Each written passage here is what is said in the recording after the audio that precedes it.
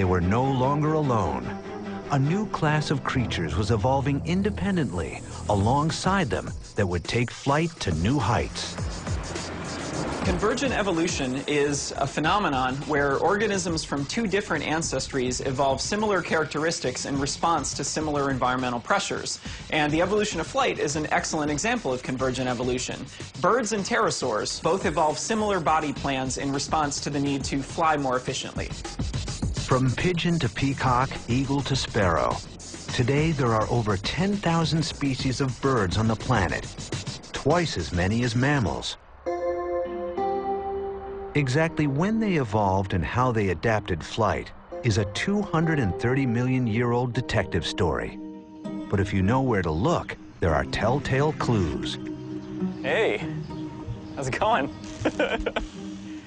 Ironically, the answer to how birds took to the air may lie on the ground. Large flightless birds like emus help trace the origin of avian flight because it is believed that birds evolved not from winged pterosaurs, but ground-dwelling dinosaurs. This animal, the emu, is one of the closest things left on Earth that might be able to tell us what non-avian dinosaurs really looked and acted like.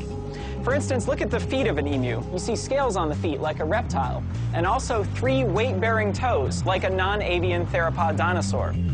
Theropod dinosaurs stood upright, with hind legs used for support and movement, while short forelimbs were used for grasping and tearing prey. The most famous was the fearsome T-Rex. If we were to look at the foot of a T-Rex and put a T-Rex foot next to the foot of this emu, you'd see many, many similarities and only a few differences. I think the most obvious feature that birds share with non-avian dinosaurs, um, a feature they inherited from non-avian dinosaurs, is their feathers. Feathers were long thought to be exclusive to birds among vertebrate animals, but this was not the case. Millions of years ago, some non-flying vertebrates had feathers too. So we now know that feathers are not unique to birds. Feathers first evolved in non-avian dinosaurs, and it's quite possible they evolved for something other than flight. Possibly insulation, possibly brooding their nests. But aside from sharing feathers, how do we know that birds evolved from dinosaurs? And how were these land-based animals able to take to the skies? Over the last 200 years, paleontologists have begun to find amazing evidence that helps to answer these evolutionary mysteries in the form of incredibly preserved fossils. Pittsburgh's Carnegie Museum of Natural History houses one of the world's top collections of dinosaur bones.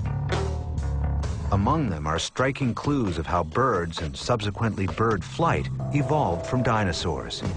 This is a cast of Archaeopteryx. And when this was discovered well over a century ago, it astounded scientists because the fossil shows a mixture of features classically associated with reptiles and classically associated with birds. Archaeopteryx was the first of a whole new group of animals.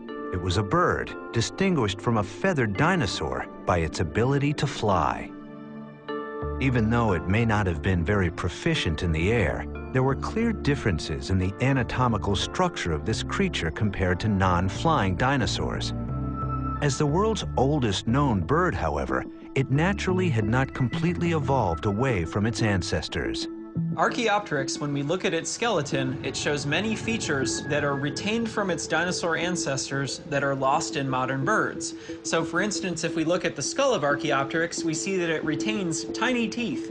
All known birds alive today lack teeth.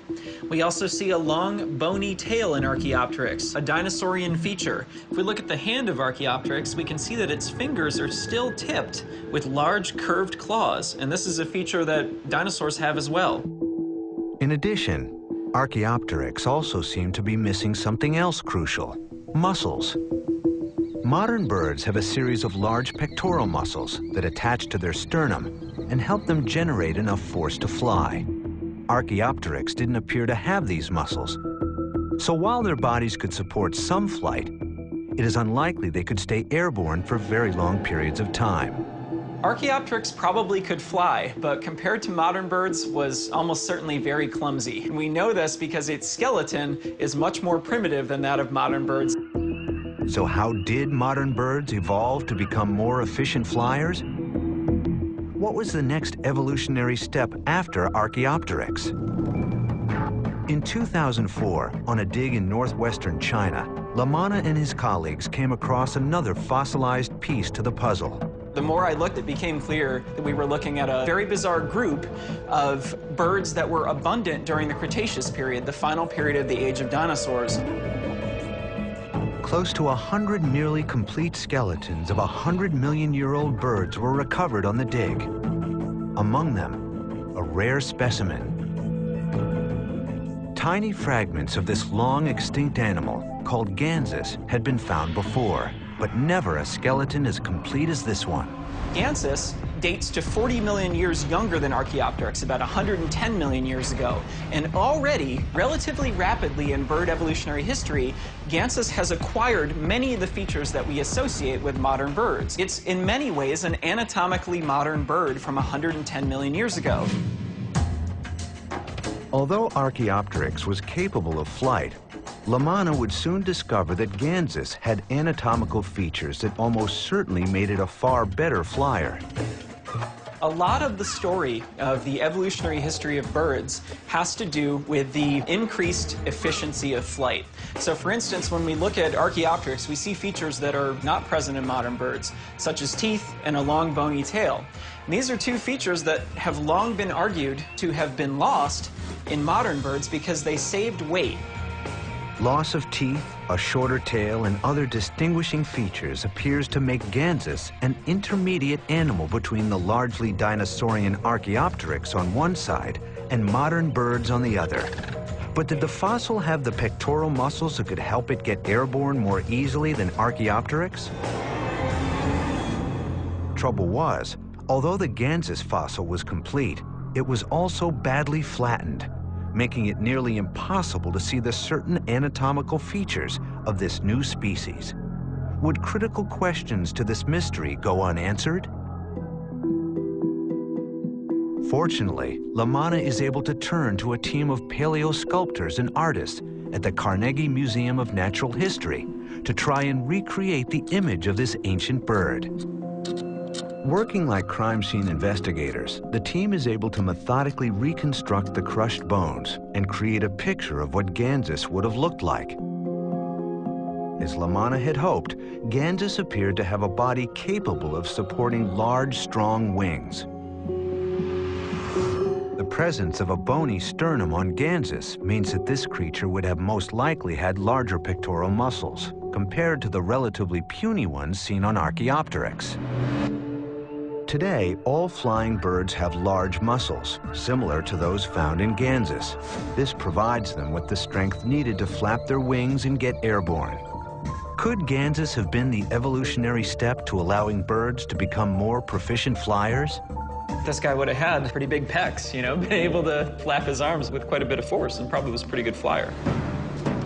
The large breastbone that strong flight muscles could attach to is clearly seen in Gansus, as well as fused wrist and hand bones, a short bony tail, and fused ankle and foot bones, also traits in most modern birds. All these features transform these early flyers from a reptile that could get airborne to a radical new lineage that would spend the majority of its time in the air. Gansus was probably an excellent flyer, probably as good a flyer as are many types of modern birds. Birds are one of the most successful groups of vertebrates, but in order to survive in a new environment, major anatomical changes had to be made. What was useful on the ground would hold them back in the sky. When birds gained the ability to fly from dinosaurs, it came with some costs. They had to lose a few things. The most obvious of which is probably that they don't have any more hands. All the bones of the fingers are now incorporated in the wing, and there are feathers attached to them, so they can no longer manipulate anything with their hands or defend themselves on the ground. Regardless of this cost, however, the fossil record clearly shows that the evolutionary transition from dinosaurs to birds was a great triumph, and over time, birds radiate far and wide. These groups that evolved the ability to fly and diversified into hundreds or thousands of species have gone on to fill many different niches in the environment. Incredible fossils like Archaeopteryx and Gansus help us to understand what anatomical features define a bird and when they evolved. But what were the environmental factors that send birds into the air?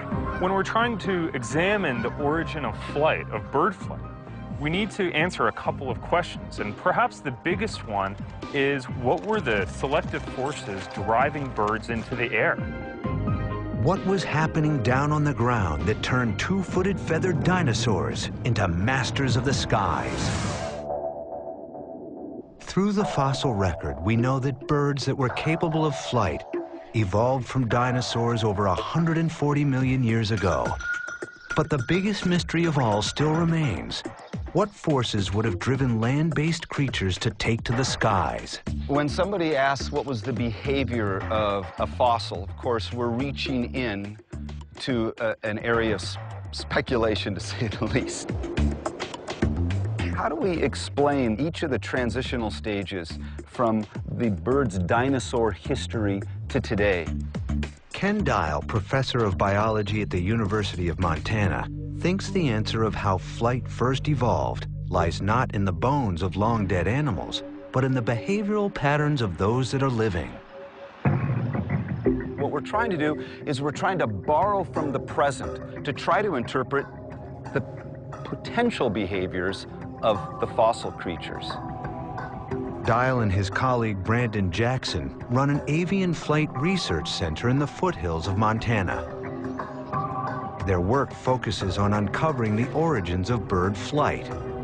Why do birds need to fly? Why do they want to fly? Dial believes that birds evolved the power to fly slowly. Over time, environmental pressures like escaping predators pushed them towards the sky, and various physical adaptations allowed them to get there. If this is true, claims Dial, many birds may still be hardwired with the behavior of their land-dwelling ancestors inside. In other words, if given the choice between using their wings or their feet, birds will choose to remain on the ground.